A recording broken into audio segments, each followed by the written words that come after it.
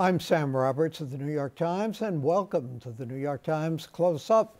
The December jobs report, a blowout to the upside, beating Wall Street expectations by far. But that report came just days after stocks wrapped up the worst December performance since the depths of the Depression. What are the experts expecting in 2019? We'll ask a pair of New York Times journalists who cover that beat. Later on, I'll have some additional thoughts on CODA. But we begin with the political scene. Reporters have almost run out of adjectives to describe the last couple of years, what they've been like in politics, the standoff over the border wall, the government shutdown. Let's take the political pulse with Eleanor Randolph, contributing writer for the New York Times. Eleanor, welcome and thanks for joining us and Happy New Year. Happy New Year to you, Sam. The, we heard the uh, mayor's speech this week, his State of the City speech. What did we think of that? The mayor obviously looking for a national platform as well as his New York constituency. The governor sort of sounding a little national too.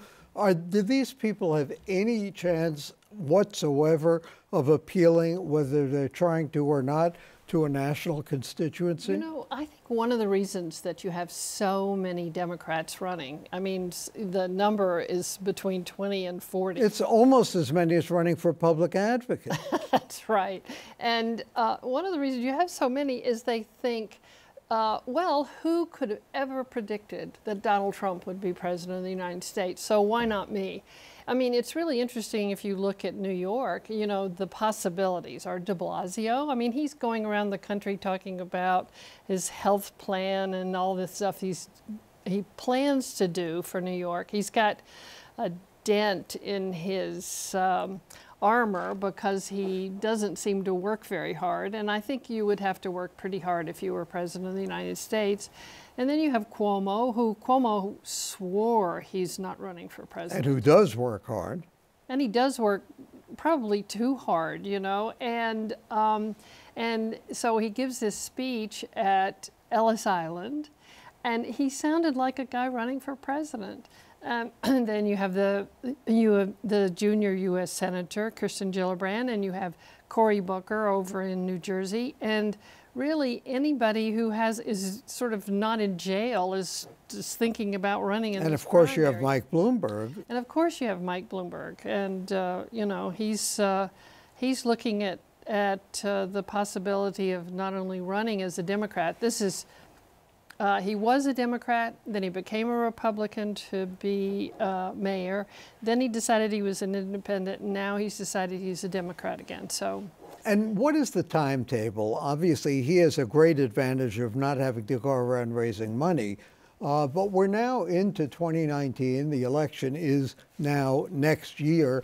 When do these guys have to make any sort of real decision? Well, you know, Elizabeth Warren's already said she's running. And so uh, you started seeing, um, four, four years ago, you started seeing the first inklings. I mean, Trump decided he was running in 2015. Um, and or now just let people know that he was running in 2015. Um, I think probably March, April, you'll start seeing the full force of the Democratic primary field. And of these people, the New Yorkers, uh, what's your guess as to uh, which of them will like or won't? Your friends in the, that are that are covering the economy. I, uh, you know, I thought I thought Hillary Clinton was going to win, so mm-hmm. I'm I'm not the best person. To, well, you were in good company.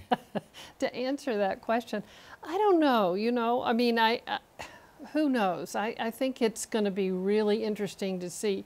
I know the one of the Bloomberg people I talked to, or a person who supports Bloomberg, not one of his people, said that what they're hoping is that the the left wing, you know, the Kamala Harris uh, and Elizabeth Warren and Bernie Madoff, Bernie, Bernie Sanders will all divide up that vote mm -hmm. and mm-hmm. that he can come in through the center, but who knows? And does he really have a constituency that can get him elected or get him nominated, more importantly, uh, in a Democratic uh, series of primaries? Well, that is the real question. I mean, I think if he got nominated, he, he might have a chance, but I don't see this Democratic Party. Everything we see now is how liberal it's become, and Mm-hmm. how, you know, you're sh- it's shifting more and more to the left. But as you say, if there are enough liberal candidates, uh, there might be room for him to squeak by at the other all end. I'm guessing at this stage. Yes, indeed, like the economy. Let's talk a moment about Albany. Uh, there is a Democratic uh, state senate, uh, which presumably will stay Democratic for at least a couple of weeks. We never know what happens in Albany. What uh, legislation that has been stalled in Albany do you think is actually likely to go through this time? Well, you know, now that you have, it's, they're all Democrats, you know, and as you know, Democrats can find reasons to fight that, uh, you know, uh, which It's the corner- circle firing squad, right? Absolutely. But still, there are some indications that one that there are a couple of things that they're going to work on. One is they're going to they're going to codify Roe v. Wade for women in the state of New York, and that's a really important one for for most women. Uh, they're talking about changing the way the ethics commission works. Uh, that they might. What's going to be interesting is to see how the Democrats, who've always what they've always done in the uh, assembly, is they've had these fabulous bills and they look great and the goo-goos love them, but they knew they didn't really have to do anything about them because the Republicans in the Senate would stop uh, stop it. So now the question is whether they'll go back and do some of those really good uh, changes to like the voting law, early voting, and and same day registration, and some of those things that would make a lot of difference in this state. hmm What about campaign financing You know, or public campaign finance? Uh, I'm one of those people who keeps hoping they'll do something to create a floor for so that more people can run. But if you if you ask most Albany politicians, uh, sort of when they've had a few drinks at night, they will tell you the last thing in the whole wide world they want is competition. Um, the rest of us want competition. They don't. And one big issue, obviously, coming up, and the governor, for better or for worse, taking more responsibility for it, is mass transit, structure of the MTA, and also congestion pricing. Where do you sense we're going on that? You know, I find it so exciting that he came in and, you know, decided he was going to change the way the L was uh, was being uh, was going to be uh, restored. Assuming that works. Well, but what he did when he did that was he said, "This is mine," mm-hmm. and that's what I have been arguing for. I mean, you've heard me forever. He did become a stakeholder. he became he said it was a little bit hard to change it but but he he made it clear that he was the one who could make a difference he told the daily news this past week that it should be blown up the whole you know authority should be blown up Of course, this is after eight years as governor. and running basically running the mta all that time so uh, no that's the really good news i'm so glad he's taken it aboard and said you know it's mine and i'm going to and hopefully he'll stick to it. Thanks to Eleanor Randolph of the New York Times. And coming up next, the economy seems to be solid. The stock market has been on a stomach churning roller coaster ride. What's going on? Where are we heading? Some answers coming up.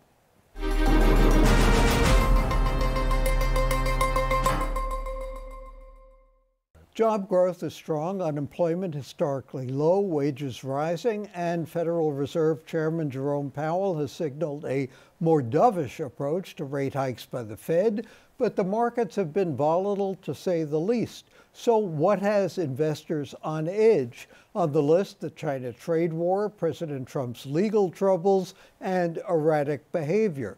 Higher interest rates, signs of a global economic slowdown, fears of a slowdown in the U.S., and the fading boost from the tax cuts. And that's just a partial list. So is the long bull market coming to an end, and is an economic slowdown or even a recession in the cards this year? Let's ask David Enrich, finance editor for the New York Times, and his Times colleague Peter Eavis. Where are we going, and which of the things on that litany of potential problems is likely to affect us? Peter, what do you think? Um, I think that, as you pointed out in your introduction, the Fed has calmed markets. So it's that's that's the that's a, that was a big threat going into the end of last year. Investors were frightened that the Fed was going too quickly with interest rate hikes. They've taken that off the table, I think, but they still have this. People still have this concern about you know global growth. There's, there was some horrible economic numbers out of Europe recently, and China is also slowing down. It seems, and once investors, you know, oh, they're just waiting to see what comes next from abroad. And some uh, companies have issued warnings about the health of uh, their businesses. Does that suggest that uh, investors might have been right about the market uh, uh, at the end of last year? Yeah, I think that, you know, especially Apple's warning. I mean, Apple's stock was tumbling well before they came out with that revenue warning.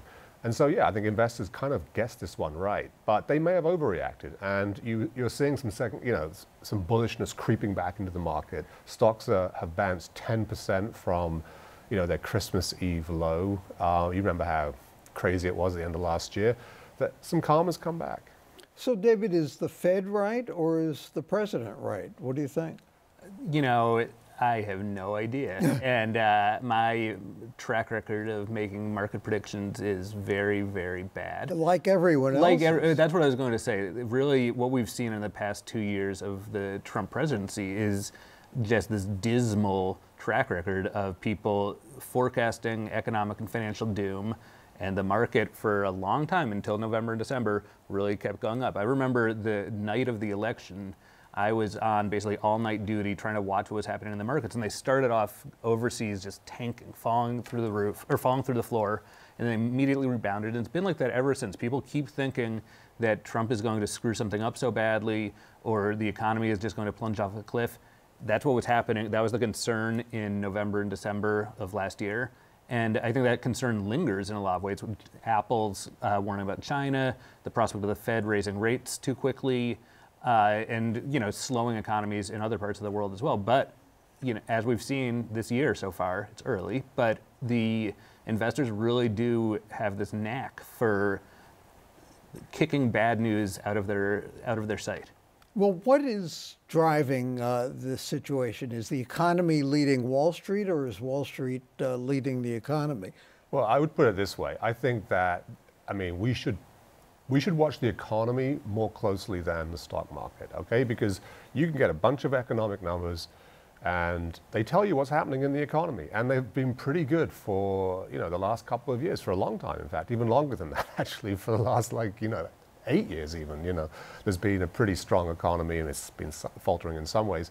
Uh, and the market, you know, like David said, goes through these freakouts where they're worried that it's all going to come to an end, and it doesn't. And there aren't enough signs yet that the, the wheels have come off the economy. And so, you know, I, I would ignore the stock market um, to a large degree and just look at things like job numbers and, uh, and wage growth and things like that. And that's what the Fed was trying to do. And everybody thought because the Fed was, was reacting to a strong economy, it would keep increasing interest rates and they would go too far. And that's what freaked out the stock market. But you know what? The Fed may have been right. The Fed might be actually m- more correct about the economy than the stock market, but we'll see. Well, doesn't all this, in a way, become self-fulfilling? Yeah, exactly. Uh, and, that, and that's the issue. You can't really ignore the stock market because there are millions of people and countless institutions whose fortunes are in one way or another invested in or connected to the stock market. And if they're afraid the stock market might go down in the future, that leads them to pull back on investments they're making or workers they're hiring, which, surprise, surprise, has an effect on the economy, which in turn has an effect on the stock market. So these are the, the relationship is very symbiotic between the stock market and the economy. And what, we're, what we've been seeing the past several months is that investors, not just in the US, but all over the world, are bracing for turbulence. And there, the expectation is that after a number of years of this eerie calm in the markets, where things just kind of went up at a pretty smooth trajectory, if you smooth it out over months or years, that period's coming to an end. And what we're going to start seeing is much greater choppiness, much greater uncertainty, much greater volatility. Well, which kind of means that any ripple uh, can cause a major wave one way or another. Where do you think that ripple is most likely to come? We've got lots of things going on. We've got China, we've got Brexit, uh, we've got any possible number of economic the, indicators. The problem, though, is that anything that you or you or I comes up with right now is stuff that that's the conventional wisdom. And that's stuff that not only is kind of obvious to a lot of people, but it's also things that have already been priced into the market. Mm-hmm. Investors are already expecting that to happen. So for something to really shock people and destabilize markets, it's going to need to be something unexpected. And with the caveat of my track record is awful for making these predictions, my prediction is that a big financial institution, big bank or hedge fund, gets brought to its knees by hackers. Mm-hmm. And that is what stuns everyone and sows fear of global financial chaos and leads to a stampede out of the markets. Boy, that ought to be pretty expected That's specific too. enough? Yeah. yeah. Okay. When? Next month. No, I'm no, I'm kidding. I don't. I have no idea. I have. There's if I could, if anyone could predict these things, they would make tons of money in the market, and you know, you don't see that many people mastering the timing of these things. It's all a guessing game, and people more often are lucky than good. Speaking of guessing games, is there anything in a third year of a presidential cycle? Is there anything after a big jobs report uh, that suggests where the economy, where the market is going, as much as those indicators mean anything? I mean, look, I, I struggle to find something really disturbing about the United States economy right now. I mean, look, it's you know, it's it's one of the best times we've had in years for for, for the regular worker. They're they're finally getting pay increases above the rate of inflation, and nothing's you know, inflation is not like going through the roof. You don't have to be worried about it. And if that just continues, we're in a pretty good place. I mean, people talk about all this debt in the corporate sector. They talk about or having lived through the finance, I sound like a real old guy now. Having lived through some really bad times and written about them, this doesn't. That was only like a decade ago. Yeah, yeah, I know, but one before that as well. And yeah, you know, the old you know, something like the scenario Dave laid out there, where like a big institution gets brought to its knees by hackers, is definitely really scary and would be serious. But in the actual economy, I, I don't see that much lurking right now. The, the surprise might be that we get, uh, uh you know, much you know, a much worse economic number than we expect out of, say, China or something like that. Those are the sort of things that could still catch the market at, something like that. Are the stock market and the bond market sending the same signals in terms of the economy? Yeah. And it's both, it's a combination of at times gloominess, but always recently of volatility and turbulence. And people are much more on edge, investors are much more on edge about and much more sensitive to any hint of financial softness, not just in America, but in big foreign countries as well, whether it's China or Japan or Germany, all of which have so, showed signs of slowing, and those signs translate into the companies there, the, the big debt issuers. Um, you know, it increases the risk of them having problems, which makes it more expensive for them to issue debt, and that in turn cycles right back through the economy. What is the prospect of China improving both economically and in terms of, of the trade war? I mean, is that likely to be resolved and in whose favor?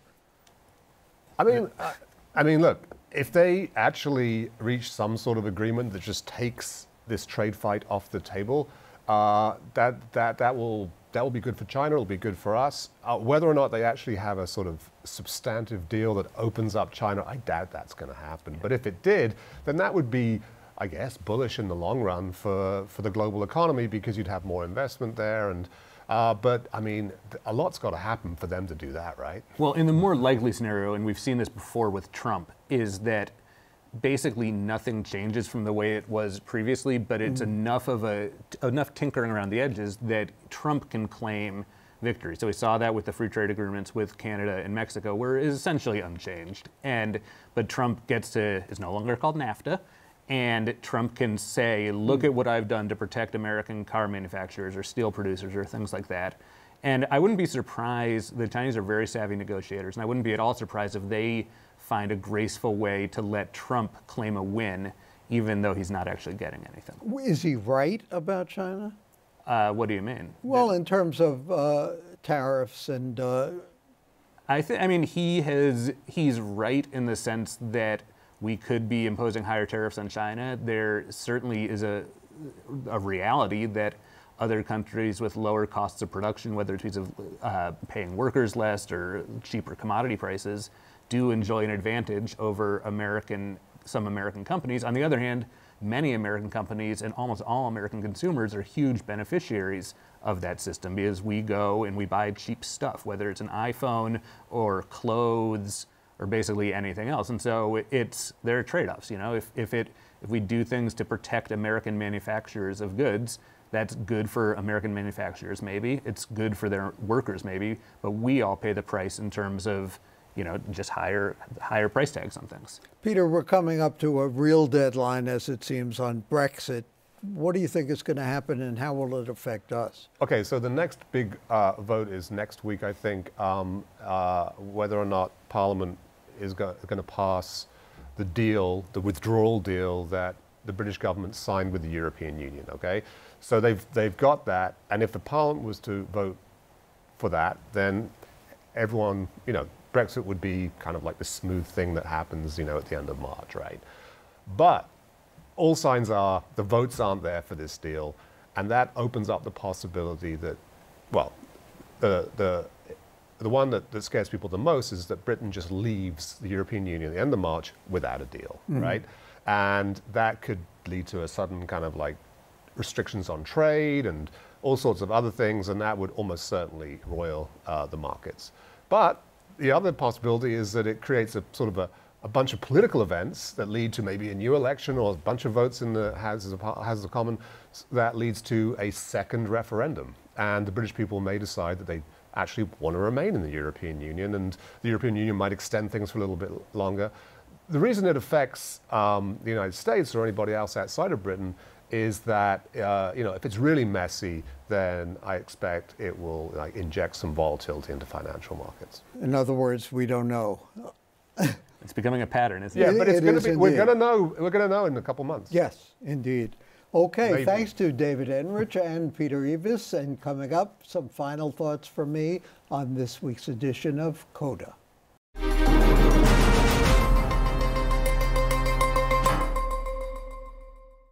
It's uncertain which mayor delivered the first State of the City speech.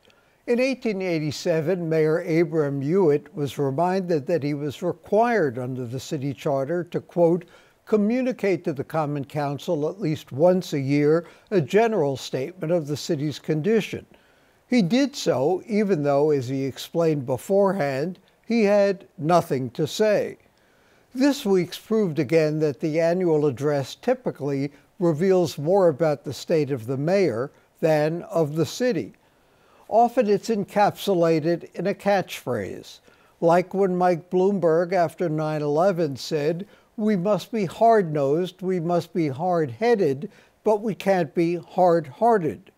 Or when Bill de Blasio first promised one New York, or the fairest big city in America suggesting a sleeping beauty mirror image size matters metric in which a small city might be the fairest of them all. This year he invoked Robin Hood. The mayoral pronouncements, like the comparable speeches by the president and the governor, are wish lists, of course. They're unspecific. They don't usually say how the goals will be accomplished or who will pay for them. The mayor says he'll guarantee universal health care, for example.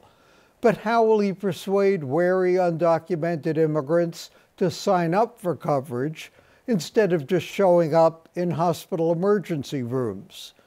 Yes, global economic uncertainties loom, but the mayor said this week New York City's economy has never been stronger. If Ed Koch called himself a liberal with sanity, de Blasio is a liberal with a bankroll. Still, city funded spending grew less annually during de Blasio's first term than in Bloomberg's three terms, according to James Parrott at the New School's Center for New York City Affairs. And while the municipal workforce has peaked, city workers comprise a smaller share of all payroll employees than they have in 30 years. The problem with playing Robin Hood is that everyone hopes to be richer someday, and the legendary hero's 21st century incarnation is in the eye of the beholder. While tax cuts for the rich rob the poor of potential government services, regressive taxes imposed by government rob the struggling middle class. With all the remakes of Robin Hood the film, the Guardian recalled recently that none has come close to Errol Flynn's classic from eight decades ago. You're a strange man, Olivia de Havilland's maid Marian says to Flynn in one scene. Strange, Robin asks, because I can feel for beaten, helpless people? No, says Marian, you're strange because you want to do something about it. For the New York Times and CUNY TV, I'm Sam Roberts.